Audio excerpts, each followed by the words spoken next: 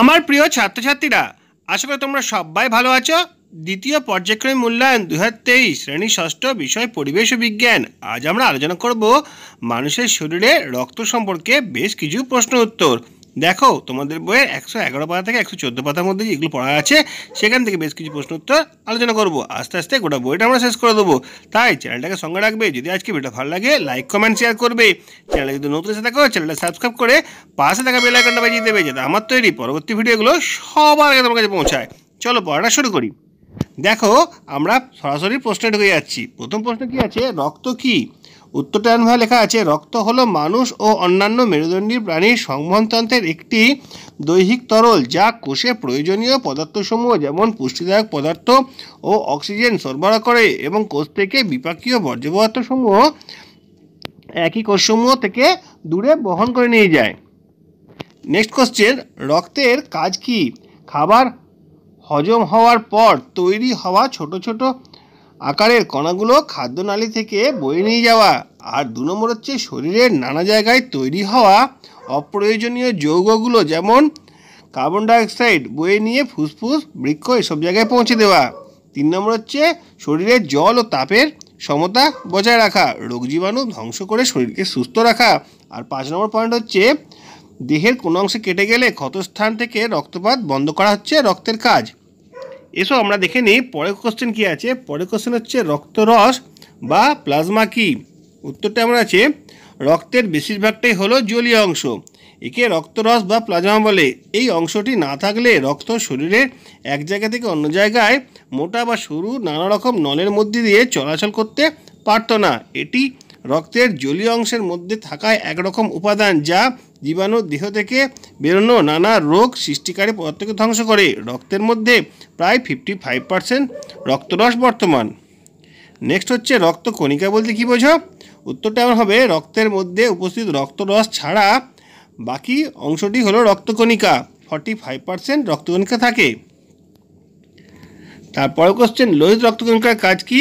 Oxygen ও carbon dioxide পরিবহন করা, রক্তের সক্রিয়তা বজায় রাখা, অম্লক্ষারের সমতা বজায় রাখা, রক্তের পজিটিভ আর নেগেটিভ আয়নের ভারসাম্য বজায় রাখতে সাহায্য করা। নেক্সট কোশ্চেন হচ্ছে, শ্বেত রক্তকণিকার কাজ কি? অ্যান্টিবডি উৎপাদন করে ব্যাকটেরিয়া সংক্রমণের বিরুদ্ধে প্রতিরোধ করা আর হেপারিন নিঃসৃত করে রক্তবাহে রক্ততঞ্চন রোধ করা। হিস্টামিন নিঃসরণ করে দেহের অ্যালার্জি প্রতিরোধ করা, ত্রিফন নামক রাসায়নিক পদার্থ সৃষ্টি করে কলা, কোষ পুষ্টিতে বৃদ্ধিতে সাহায্য করা। নেক্সট কোশ্চেন হচ্ছে অনুচক্রিয়ার কাজ কি? রক্ত তঞ্চনে সাহায্য করা। রক্ত জালিকার ক্ষতিগ্রস্ত অংশে ক্ষতিগ্রস্ত অংশে মেরাদমন্ত্রীর কাজকে দ্রুততর করা। নেক্সট কোশ্চেন টিকা বা ভ্যাকসিন কি? অনেক সময় কিছু কিছু মারাত্মক জীবাণু আছে, যেমন টিটেনাস বা ধনুষ্টঙ্কা, ডিপথেরিয়া ইত্যাদি। শরীরের স্বাভাবিক প্রতিরোধ ব্যবস্থা এদের সঙ্গে লড়াই করতে পারে না। টিকা দিয়ে শরীরের প্রতিরোধ ব্যবস্থাকে আগে থেকে উজ্জীবিত বা সক্রিয় করে তোলা হয় যাতে ওইসব রোগ জীবাণু শরীরে ঢুকলে তাদের বিরুদ্ধে লড়াই করতে পারে। পরের কোশ্চেন হচ্ছে পিছুটি পুচ কপ কোথায়, কখন দেখা যায়? পিছুটি সকালবেলা ঘুম থেকে ওঠার পর চোখের কোণে দেখতে পাওয়া যায়। পুঁজ হচ্ছে ফোঁড়া, ফোসকা, দেহ, ঘা অথবা ক্ষতস্থান থেকে অনেক দিন ধরে পুঁজ দেখতে পাওয়া যায়। আর সকালবেলা ঠান্ডা লাগলে গলায় বা নাকে কপ দেখা যায়। কী কারণে সৃষ্টি হয় পিছুটি দেখো চোখে চামড়া চোখের পাতলা চামড়ার মধ্যে দিয়ে যখন জীবাণু ঢোকে, তখন চোখের জলের মধ্যে জীবাণুনাশক জীবাণুগুলোকে মেরে ফেলে আর মরা জীবাণুগুলো পিণ্ড আকারে চোখের কোণে জমা থাকে। পুঁজ কীভাবে সৃষ্টি হয়? দেখো, ফোড়া বা কাটা জায়গার মধ্যে দিয়ে জীবাণু ঢুকলে রক্তের মধ্যে থাকা জীবাণুনাশক শ্বেত রক্তকণিকা জীবাণুগুলোকে মেরে ফেলে ও সাদা তলের মতো চামড়া দিয়ে তখন বেরিয়ে আসে।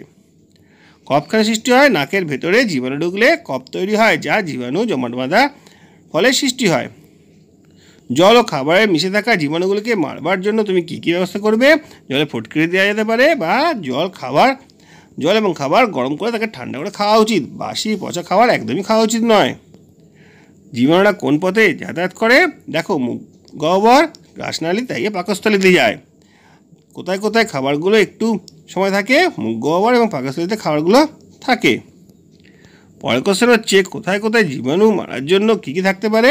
দেখো লালায় থাকে লাইসোজোম যাওয়া একটি জীবাণু ধ্বংসকারী পদার্থ আর পাকস্থলী থাকে হাইড্রোক্লোরিক অ্যাসিড এগুলো কিন্তু জীবাণু মারতে সাহায্য করে। পরের কোশ্চেন হচ্ছে আমাদের দেহে রোগ জীবাণু সংক্রমণ কমাতে কী করা দরকার? গরম খাবার খাওয়া দরকার, পরিষ্কার, পরিচ্ছন্ন জায়গায় থাকা উচিত, হাত মুখ ধুয়ে খাবার খাওয়া উচিত, মলমূত্র ত্যাগ করার পর সাবান দিয়ে হাত ধোয়া উচিত, অপরিষ্কার স্থানে জুতো পায়ে হেঁটে চলা উচিত। দেহের রোগ প্রতিরোধ ব্যবস্থা বজায় রাখতে কী কী খাওয়া উচিত বলে তুমি মনে করো? উত্তরটা হবে, মাছ, মাংস, ডাল, দুধ, ডিম, শাকসবজি, ফল খাওয়া উচিত। রক্তের উপাদানগুলি ওলটপালট হলে কী হবে? রক্তের মধ্যে উপাদানগুলির মাত্রা ঠিকঠাক থাকা দরকার। এগুলি যদি এদিক ওদিক হয়ে যায়, তাহলে শরীরের স্বাভাবিক কাজে বিঘ্ন ঘটবে।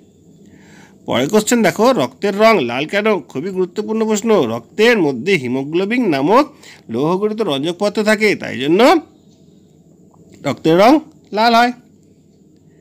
রক্তের বৈশিষ্ট্যগুলি কী কী? রক্ত এক ধরনের তরল যোগ কলা রক্তে কোষীয় উপাদান ধাত্রের তুলনায় কম থাকে। রক্ত ঈষৎ লবণাক্ত হয়।